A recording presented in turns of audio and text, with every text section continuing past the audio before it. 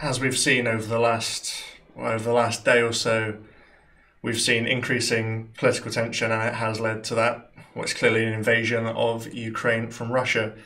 Now, this is a major reason for concern in our industry, right? I know part of Four Corners Helium's goal is to avoid importing helium from volatile sources, as you said in your speech.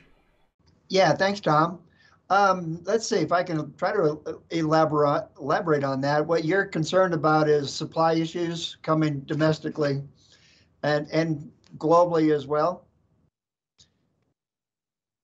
Um, well, I would say some of this ties into some of the excellent uh, points that Phil made earlier. Uh, it concerns me on the geological and um, you can say geo geochemical, geophysical side is so many of the easiest fields have been discovered, uh, and that parlays into the challenges of finding the new supply. Uh, there's been a lot of wells that have been drilled in in a lot of basins, and because we look at all of the uh, companies are out there, and there's 17 going to 18 publicly traded companies that have yet to put any.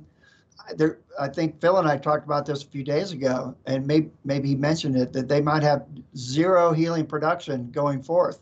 The other one is LaBarge Field, and everybody would like to think, oh well, if we have an issue, uh, the BLM is struggling. Uh, we know it's in its maintenance issues, and and uh, even when it comes back on, it's it's declining like that. Um, heck, why can't Exxon just trip the switch and uh, and produce more helium from LaBarge? But uh, helium is like a super tanker trying to turn in an ocean. It's not gonna. It's got wells right now that are flowing 75 million cubic feet a day. You know, a combination of methane, CO2, and helium, and um, the, it's for them to start drilling wells you know, the size of them. It's just not going to happen overnight. Um, so we're going to see these local shortages uh, because it all goes comes down to location, location, location, and it comes down to having the right kind of scientists. Um, I think there's some really good people out there. They're trying really hard, but because it's such an exploration challenge, um, it it just comes down to of rolling up our sleeves and getting the right kind of science.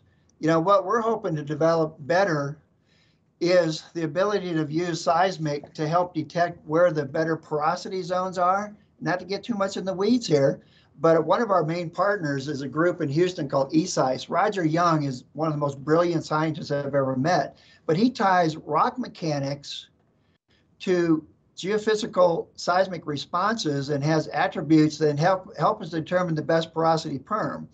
So when you when you're looking for helium, some of the rocks with the best porosity and best permeabilities with these huge flow rates might have the lower helium percentages. When you get into tighter rock, which is more northwest New Mexico, you can have five to seven percent helium in northwest New Mexico, but the the rock is pretty tight, and uh, they're finding that they're fracking some of the zones there.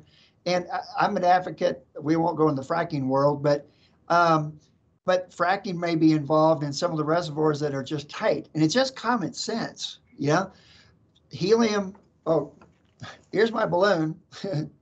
so uh, helium is going to be more established in the tighter rock. So if you, the Goldilocks zone is when the seismic attribute can find the adequate porosity aligned with the adequate helium percentage and the economics really work.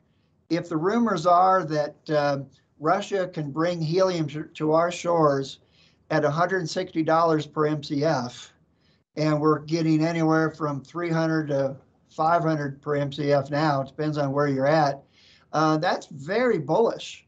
So uh, our goal is, you know, to make money now at 250 to 500 MCF per day, uh, per MCF, uh, and then eventually get down to where we can make money at helium at 100 to 150 dollars per MCF, so we can keep the outsources uh, away from us in countries that we don't want to deal with.